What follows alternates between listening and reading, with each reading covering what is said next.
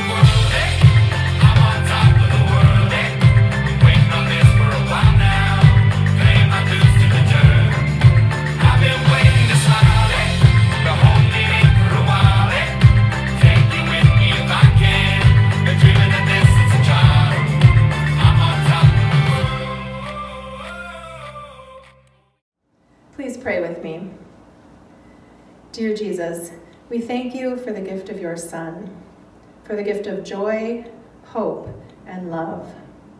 Lord, we pray today the walls from around our hearts and the blinders covering our eyes simply fall away so we can finally embrace the fullness of you. Today we want a joy that overflows and springs forth from within our souls. We want to see the moments you give and feel the gratitude deep within our heart. Lord, we ask you to show us when we are choosing to look past you and focus on the hurt. Then give us the strength to put our eyes back on you and soak in that unexplainable joy that comes from you alone. Give us eyes to see the miracles of your love. In your name we pray. Amen.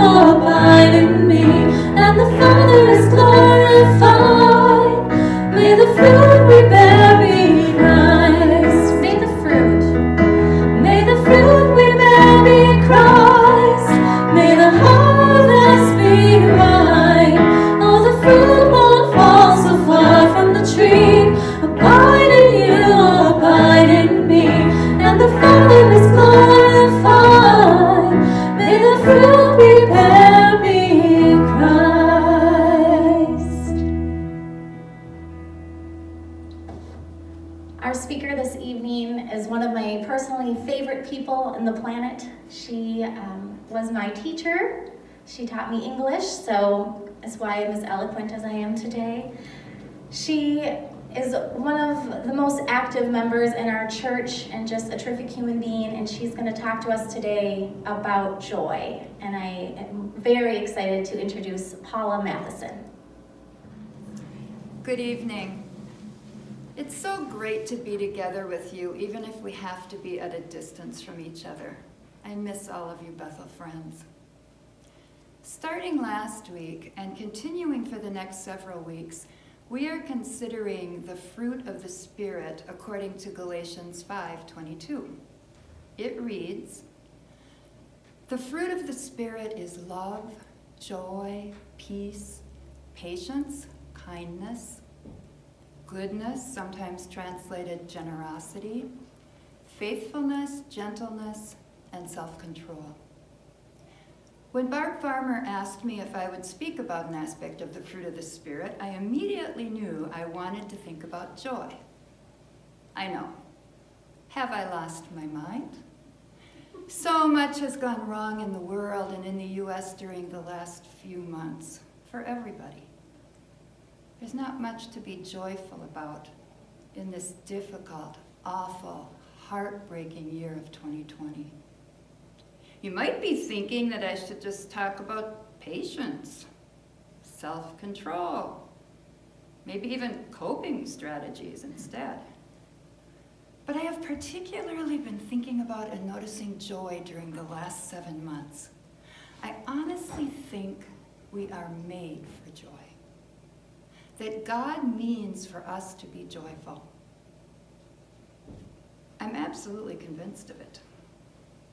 Think of the world of nature, the world of people, the world of creativity. These are enormous aspects of God's creation to be joyful about. I'm not talking about a Pollyanna-ish, naive, constantly smiley outlook.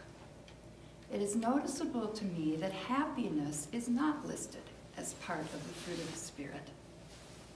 Happiness is our response when times are good, when things are going right, when we are pleased. Happiness comes and goes in spurts. Joy is different from that. Well, joy can also be an emotional response when we are pleased with people or situations or a gift. It's more than that. Joy, particularly when it combines with love, can be the undergirding, the foundation on which the other parts of the fruit of the Spirit, or even our entire lives, are built. While joy might begin as an emotional response, it is more. It is a choice I make daily. Joy is a perspective. With practice, joy can become a way of being.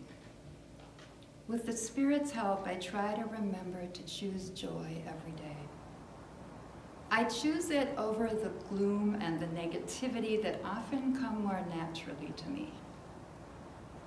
Joy is possible in the coronavirus epidemic, right in the midst of it, during work at home, during school at home, during terrible losses. We cannot control what happens to us much of the time, but we can and do choose our responses. Joy is a way of approaching the world. One of my favorite books, The Book of Joy, was written by former Archbishop Desmond Tutu and his very dear friend, the Dalai Lama, in 2016. Desmond Tutu worked constantly for decades to eliminate apartheid in South Africa and was frequently the target of death threats. The Dalai Lama has been in exile in northern India for more than 60 years and has also been in danger of losing his life. During these dark times, they have managed to be joyful in difficult circumstances.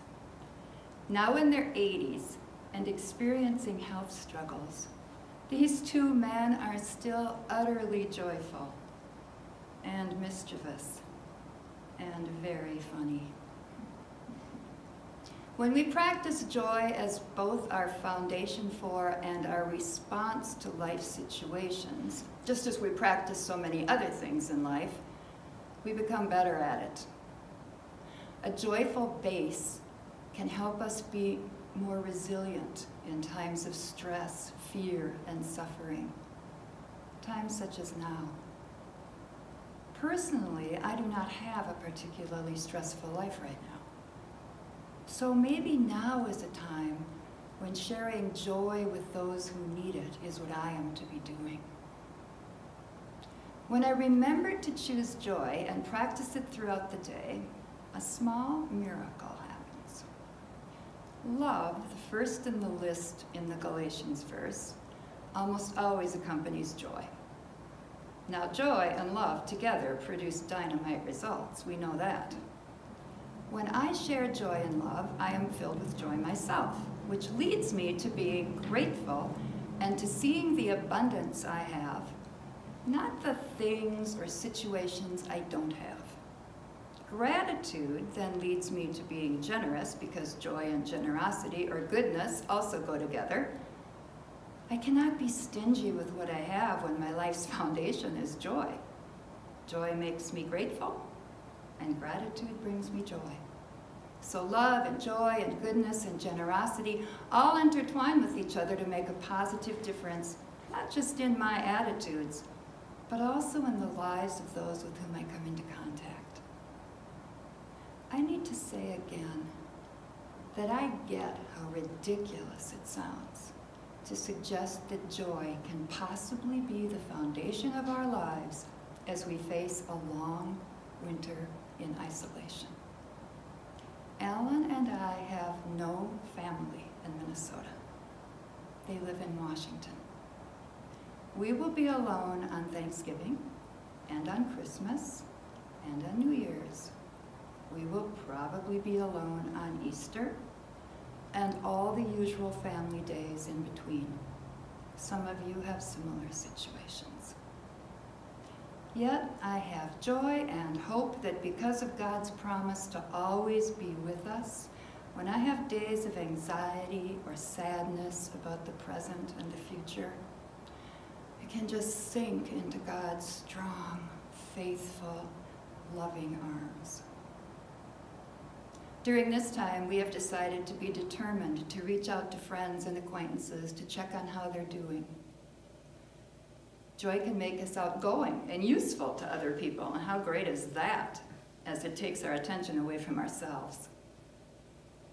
With practice, the nine traits that comprise the fruit of the Spirit can become habitual, can become my way of life. I have to confess, I've been practicing this for a long while. As Kristen said last week, we cultivate the fruit of the Spirit. I find if I especially cultivate joy and love, the other qualities of the fruit of the Spirit follow naturally. Of course, I will never accomplish this once and for all. That's okay. It is still a healthy way to live. And because God is constantly faithful to me, because the people whose lives are touched are much better off when I choose joy, because planet Earth is better off when I choose joy, I choose it. Sleep better at night when I have chosen joy throughout the day. And no matter what my day has been like, when I go to bed at night, I have developed the habit of taking deep breaths in on the word love and exhaling deeply on the word joy. Sometimes doing this helps me get to sleep. If it doesn't work, at the least, it makes me smile. It is impossible to think the words love and joy and not smile and smiling is a good way to end the day. My prayer for us all is that we live into the fruit of the Spirit consciously, daily. I wish you all deep and abiding joy tonight and for the rest of your lives. And now may the God of hope fill you with all joy and peace as you trust in God so that you may overflow with hope by the power of the Holy Spirit. Amen.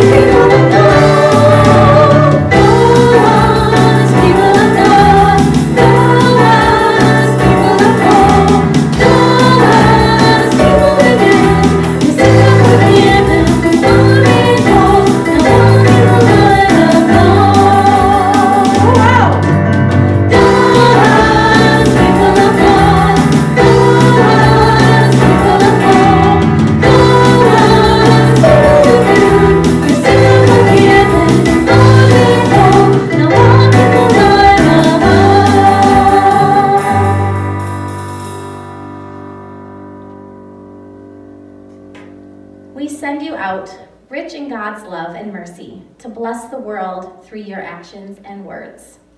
Amen. Amen.